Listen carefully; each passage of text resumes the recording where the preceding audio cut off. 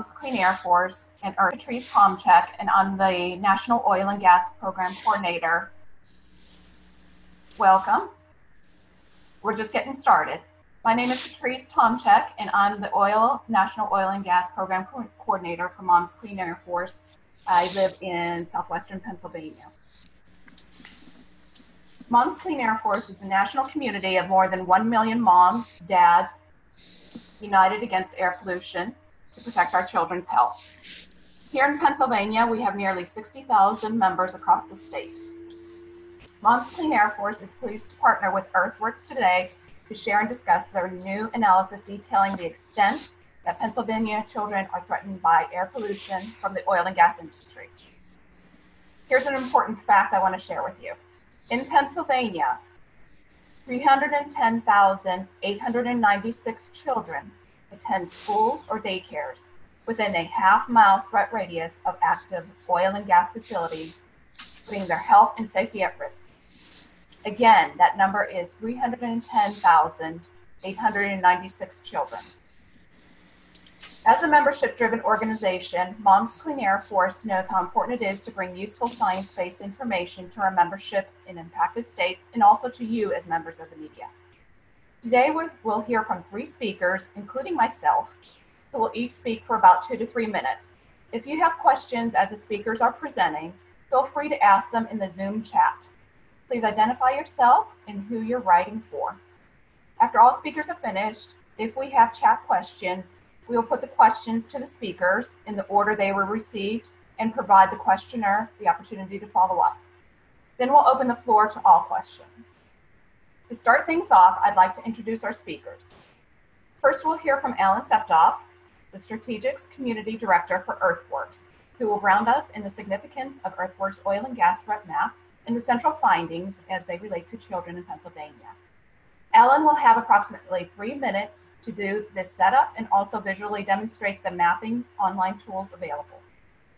Next, we'll hear from our speakers, starting off with Laura Dagley, who is a nurse and medical advocacy coordinator for Physicians for Social Responsibility, who will discuss the health risks to children from oil and gas air pollution. Next, we'll hear from Lois Bower-Bjornson, who is a field organizer for Protect Our Children Coalition and Clean Air Council. Lois fights for protections of children and communities impacted by the oil and gas industry. Lois lives with natural gas operations near her home and can share her firsthand experiences. Finally, I will share my experiences living with natural gas operations in my own community. Just as a reminder, after all the speakers are done, we'll open up this call for your questions from the floor. While speakers are presenting, feel free to ask questions in the Zoom chat. Please identify yourself and who you're writing for. We will wrap up speaker comments approximately 11:15 a.m. and then open up the questions and answers. Before we get started, I wish to point out that this event will be recorded again, and we'll include that link in a press release that will be emailed to everyone on this call following the webinar. We'll also include other important links, so please be on the lookout for that. All right, with that, I turn the floor over to you, Alan. Thank you, Patrice. Um, just to verify, you, you can hear me okay, yes? Perfectly. Okay, great. Okay. So, as Patrice said, I am with Earthworks. Uh, for those that don't know, Earthworks is a uh, national environmental pro- nonprofit that focuses on protecting communities and the environment from the uh, negative impacts of resource extraction, and in this case, that means oil and gas. And so, to that end, uh, with FracTracker, Pennsylvania based FracTracker, uh, and Viable Strategies, also Pennsylvania based, uh, we created the oil and gas threat map. Um, and the threat map is a inventory of at the national, state, and county level of active oil and gas production facilities. And it maps populations threatened by those facilities. And I will uh, give a very brief walkthrough of the map um, later. So, in the map, it focuses on production, not refineries, not downstream facilities. It focuses on oil and gas wells, compressors, and processors, and active ones And the source for this data is Pennsylvania state government for the wells and industry and state data for compressors and processors. Around each of those uh, facilities in Pennsylvania, we have drawn a half mile, mapped a half mile threat radius. That threat radius is based on peer reviewed science, mainly from a uh, University of Denver study, but there are others. To be clear, the health threat radius is not a bright line inside which you're doomed if you live and outside which you're safe. Within a half mile is the area in which negative health impacts are most clearly correlated with proximity to oil and gas production facilities. And that relationship gets stronger the closer one lives to a facility. Um, there are health impacts outside half mile. We've taken heat from inside the environmental community because some folks want it to be a mile, but half mile is conservative and supported by peer reviewed science. Uh, and the, the sources of that science are all on the, the oil and gas threat map website. So within that threat radius, we use census data and Department of Education data to see who what lies within that area. And so, what's news here? It's school impacts. As Patrice said, uh, for the first time, we know that there are 310,000 kids uh, attending schools and daycares within a half mile of these facilities. Um, the map also, uh, an earlier version of the map was released last year, uh, and this year has updated well data and updated population data. And this year it shows that 1.5 million Pennsylvanians total reside within a half mile. Uh, but the new news here is 310,000 kids attending uh, over a thousand schools and daycares. And this is important now because the Trump administration's Environmental Protection Agency is in the midst of trying to eliminate existing federal safeguards that would reduce the pollution that threatens our health um, uh, with a rulemaking. They tried earlier this year to just wave away the rule, which is the existing law of the land, um, and that was rejected by the court. So now they are in the midst of a rulemaking to try and overturn the existing safeguards. As well, Pennsylvania, which if the Trump administration succeeds in rolling back safeguards, Pennsylvania's uh, responsibilities become all the more significant to Pennsylvanians' health. Pennsylvania is in the middle of a debate as part of the, the budget wrangling uh, whether or not to implement its own state controls as the state of Colorado has done already. So in addition uh, to that information in the map, there's also uh, things broken down at the county level um, for uh, ethnicity, by ethnicity and by age. We also have on the map uh, and in the uh, press release uh, links to videos of the type of pollution we're talking about that's normally invisible and video interviews with impacted residents, including uh, Patrice. And uh, there's also uh, linked reports that show the impacts uh, in terms of elevated cancer risk and uh, ozone smog uh, that are also linked, but that is not new this year. Uh, I forgot to make that specific. Um, so the threat map, let me show you that now.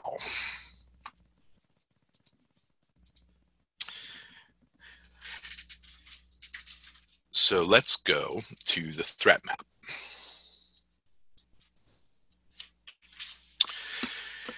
And here we see um, in the top banner are aggregate statistics for the state.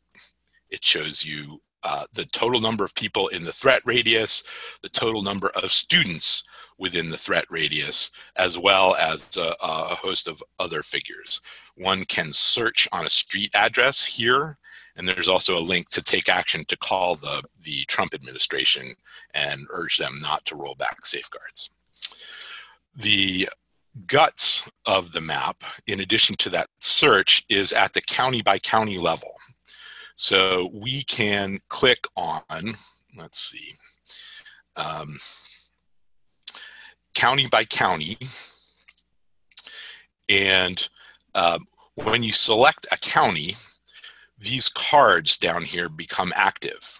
And if you click on a card, it will show you within that county the total number of uh, people threatened in that county, those that live within the threat radius, and the demographic breakdown. Um, it will also tell you uh, the number of oil and gas facilities, and if you zoom in far enough, uh, it the what are the black dots uh, are actually oil and gas facilities. And you can click on one, and it will give you the name of the facility and the unique API number so you can actually look it up. Um, and they're color coded by wells and compressors and processors. You can remove, you can focus on the information you want by clicking these checks. So the yellow is the threat radius, um, oil and gas facilities, and you can uncheck everything else to focus on what you want. And in our case, um, uh, schools. Hmm. So we're having a bit of a lag here. Uh, let's jump out here. And um, you can click on schools and it will tell you the name of the school uh, and the daycare center and the uh, and wh- whether it is a college or university, whether it is a um, uh, public or uh, private primary or secondary school, and whether it's a daycare center. Um, we also have data uh, that you can manipulate yourself on the media tab up top here. There's a spreadsheet that breaks this all down uh, at the county level so you can sort and look for yourself if you so desire. So uh, I think I'll stop there. Um, and if there are questions or you want an individualized walkthrough afterwards, I'd be happy uh, to do that and put the map through its paces. But with that, I'll throw it back to Patrice. All right, thank you, Alan, for the important information and walking us through the oil and gas threat map. Now I'd like to introduce our first speaker, Laura Dagley, who is a nurse and medical advocacy or coordinator for Physicians for Social Responsibility. Laura? Hi, thanks, Patrice. Um, so, as a nurse, uh, all this data is very concerning because exposure to air pollution from the oil and gas industry uh, puts the general population's health at risk. Um, but children are our most at risk population. Known air emissions from the oil and gas uh, drilling contain contaminants that have been proven to have short term and long term health effects, even at low levels of exposure. Along with methane that is leaked, chemicals such as benzene, xylene, formaldehyde, and hydrogen sulfide are released into the air during oil and gas activities. Short term exposure to these chemicals can result in eye, nose, throat irritation, asthma attacks, increased risk of heart attacks in those with heart disease, and can cause acute bronchitis. Long term exposure to these chemicals can lead to cancer and other chronic illnesses. But the reason that children are the most susceptible to the impacts of air pollution is because children inhale more air, therefore, more air pollution per pound of body weight than adults. They are also, generally speaking, um, spend more time outside than adults do. And children's body systems and organs are still developing, making them more vulnerable to toxins in the air. Um, asthma is also the number one chronic illness that affects children, and exposure to air pollution is a known trigger for asthma attacks. Um, children's health can be affected even before birth. Studies done in Pennsylvania found an association um, between living near oil and gas wells and lower birth weight in preterm births, which both come with their own complications. a study done in, excuse me, Colorado found an increase in congenital heart defects when pregnant mothers lived closer to oil and gas operations. Um, so you don't need a healthcare provider to tell you that it's important to protect children's health. Healthy children lead to healthy adults, and um, obviously the Trump administration needs to prioritize protecting the health of our children. Thank you very much, Laura, for explaining the health risks to children. Next is Lois Bower-Bjornson, who is a field organizer for Protect Our Children Coalition and Clean Air Council. Lois?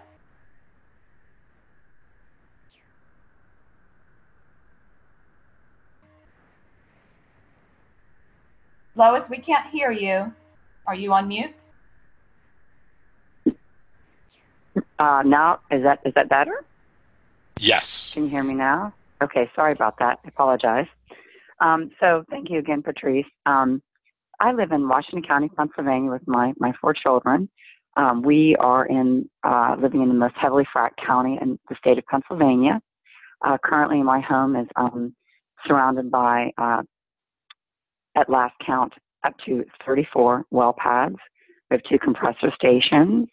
Um, we also have two uh, pipelines, Mariner East 1 and Mariner East 2 is proposed, and a transmission line 75 feet on our property. Um, and all of the schools in our area um, recently, um, as last night I did a presentation um, with a local district, California School District, um, that they are stopping or trying to stop a proposed well pad that will be next to the school. Um, unfortunately, there are the high number that Patrice and Alan both mentioned of over 300,000 students each year um, being exposed to such dangerous chemicals as Laura mentioned with benzene and toluene and uh, ethylbenzene and xylene, and then the nitrous oxides and the hydrogen sulfide, as well as the smog. Um, so those are all um, th- those all hitchhike basically into our lungs, and our children are breathing those in. Um, so what what we are uh, trying to educate the community on is what they are um, able to do um, if a proposed well pad comes into place, um, as far as setbacks, set, setback distances, real-time uh, airtime monitoring at the well pad, um, and hopefully not fracking during the, the school year um, and when students aren't there. Um, so the the thing that we're finding is that parents are at times uninformed um, about what is actually going to happen um, or could possibly happen to their children and their unborn children. So we do know that this, you know, this affects uh, 1.5 million people in Pennsylvania that live near a gas well. And then when you factor in if children are living by those gas wells and then they're going to school by those gas wells, they um, are just having um, an exuberant amount of exposure. So there's not uh, much getting away um, from this. So um, one of the, the, the best solutions, um, actually, in another community that I'm working in, who's rewriting their ordinance, is trying to put in place in the oil and gas ordinance that industry has to monitor all of the uh, emissions that are coming off of the well pad. So that's a, that's a wonderful solution if something like that could be done. Um, and this community is, is, putting a foot forward to try and do that. Um, ideally, um, the oil and gas company is, is leaking numerous um, uh, revenue into the air. So uh, a solution would be to cut uh, the methane um, by being able to capture that and uh, therefore um, helping industry's bottom line and also um, helping our communities and our children um, that live amongst oil and gas.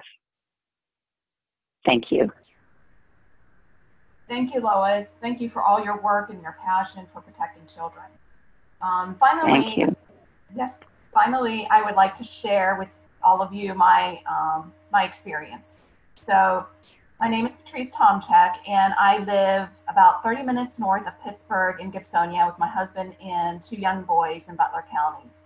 Uh, there's a natural gas well pad that's been developed 0.6 miles from my children's five school campus, and uh, this well pad puts my children and 3,200 students their health at risk for exposure to air pollution from the natural gas industry. In addition, there are five other well pads in our school district, along with pipelines that feed into the vast spider's web of pipelines that crisscross the state of Pennsylvania. Throughout the Commonwealth, families and communities like mine are being impacted by natural gas industry pollution. Where natural gas is being drilled, compressed, and sent through pipelines, you'll find methane leaking along with dangerous co-pollutants and is putting Pennsylvania's children's health at risk. Natural gas air pollution includes the, the harmful methane and benzene, um, which has been talked about, and causes the cancers like uh, childhood leukemia. For me, this is um, very concerning because my son had leukemia when he was three years old before natural gas operations came to town. And I know he has a much greater chance of having cancer again than the general population. As a mother, I try so hard to keep him healthy so cancer doesn't come back. However, I can't control the air my son breathes. For this, I depend on our leaders to protect him. And um, unfortunately, the federal government is working to stall and revoke those vital methane pollution safeguards that protect my children and all of our children from oil and gas industry's harmful pollution. Moms like me across the state are looking to Governor Wolf to put essential safeguards in place to protect our children from methane and toxic co-pollutants from the oil and gas industry. Thank you all for listening to my story. Before we pivot to our moderated questions, um, and answer session. I would like to thank all our speakers for sharing their insights, expertise, and experiences with all of us. We've gained a deeper understanding of the urgent issues oil and gas pollution brings to Pennsylvania's children and families.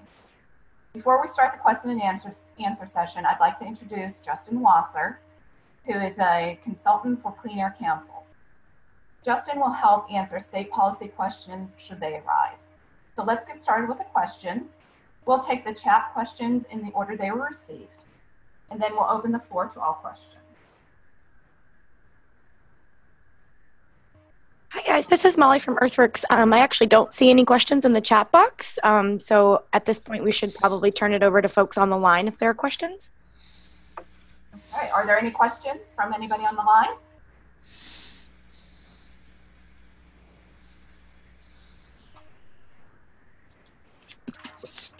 Any questions at all? Hey, Molly, is it possible that folks are still muted and can't unmute themselves? Hello? Hello. Hello? Hello? Hello, please ask your question. Can we get some specifics from Lois and uh, also Patrice as to the uh, school districts that they're talking about? Which, which school district uh, do Lois's children go to and which uh, do Patrice's go to? Um, uh, Patrice, so, you want to go first? sorry. Yes, this is Patrice Tomcik, and my children go to the Mars Area School District. Lois? So um, my children um, go to a few different schools, but they live around uh, the Bentworth School District. The uh, rights are uh, held there now by um, an oil and gas uh, company um, also Ringgold School District, Augusta School District, Fort Cherry School District, Bethlehem Center School District, and uh, soon to be California School District. Those are all in Washington County. Um, and all of my children are exposed to all of that, even though they go to different schools. They go to all the schools in Washington County, and my oldest goes to school in Beaver. They will be exposed to the cracker plant. Does that answer uh, question? Go ahead, please. I, I'm I'm still uh, from from Lois. Uh, I, I'm I guess I'm under, not understanding exactly where your kids still go. I'm sorry. No, no, that's okay. So so my children go to um, John F. Kennedy Catholic. They also go to. Uh, I have four children in different schools. So First Love Christian Academy. Those are in Washington, Pennsylvania. My daughter goes to an, another school in Washington uh, County called St. Francis Children's School, and my oldest son goes to Lincoln Park. Okay. In Lincoln Park, okay. That's in Beaver. And they all have um, wells and well pads or other facilities within a half a mile? Yes. Okay. Thank you. Thank you. Thank you. Any other questions?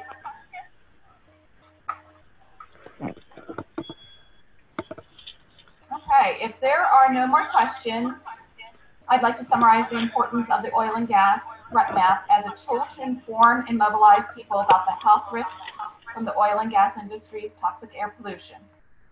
In Pennsylvania, 310,896 children attend schools or daycares within a half mile radius of active oil and gas production facilities, and they need protection. Unfortunately, the Trump administration wants to dismantle vital safeguards that would reduce this air pollution from impacting our children. Governor Wolf must act to put essential safeguards in place to protect our children from methane and the toxic pollution from the oil and gas industry.